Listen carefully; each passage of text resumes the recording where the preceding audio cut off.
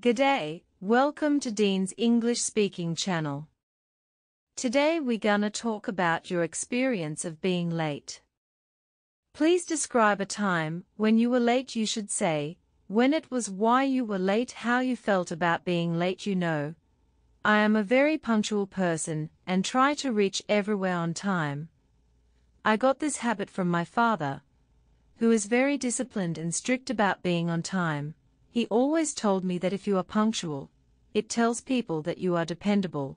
If I have an appointment, I take extra caution and try to reach at least 10 minutes before my appointment time, but sometimes, even giving myself this extra time has not helped, and I have been late. I remember being late to my best friend's wedding. My best friend, Amy, got married last year. He is the first one to get married among my friends. And we were all very excited. Chinese wedding ceremonies are very lavish. And usually there are two to three functions before the ceremony. A day before the wedding, there had been a ceremony where we danced and partied till late night.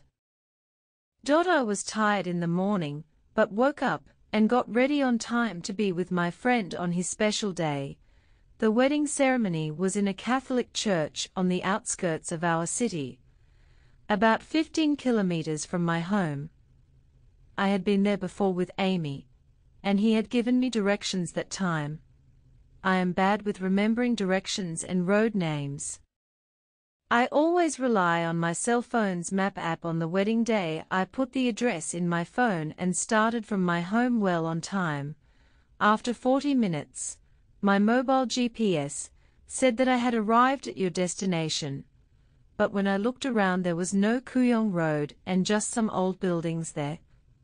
I realized that since the Kuyong Road was new and away from the city, the map app had not recognized the address and taken me to a different address. I got out and asked around. Fortunately, someone knew the exact location and told me the directions, I had taken the wrong route and driven the opposite way. I was so annoyed with myself for not paying attention. I called another friend, who was at the wedding and asked him to share his location in case I got lost again.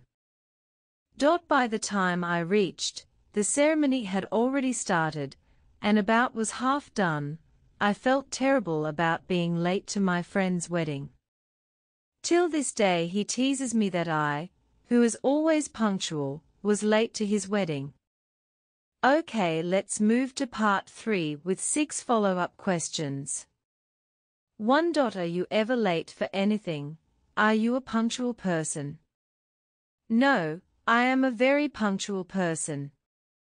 I value time and am never late for anything, unless it is due to some unavoidable and unforeseen circumstances. 2. What excuses do you use when you are late? I am usually not late for any meetings or appointments. However, if at all I am getting late due to an unavoidable circumstance, then I inform the person I am meeting beforehand. I don't make excuses. 3. Why are people often late for appointments or meeting? I think it's a problem with time management. For example, people often underestimate the time they need for something and they realize they need much more time when they start doing it.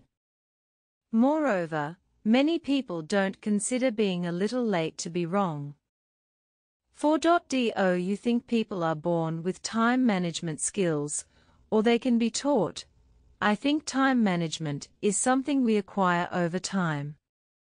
It's something we learn from our parents. If parents are punctual and strict on time, children also become punctual. Moreover, it also has a cultural aspect. For example, Japanese people are generally very punctual. Point 5. How would you teach your children time management? Time management can be taught to children by helping them make a timetable and ensuring that they follow it. Also, children can learn easily from stories or movies, which teach them a lesson about the importance of time and managing it well. The parents are role models for children and they should set a good example for their children. 6.do Old people and young people manage time in a similar way. No, old and young people do not manage their time the same way. Old people have more life experience and they understand the importance of time management better than the young generation. The young people may be too impulsive or impatient and may not understand the importance of planning ahead. Another difference is the way the younger generation manages time. They make more use of technology and the old people may use the traditional methods, like a timetable or writing down a list of tasks.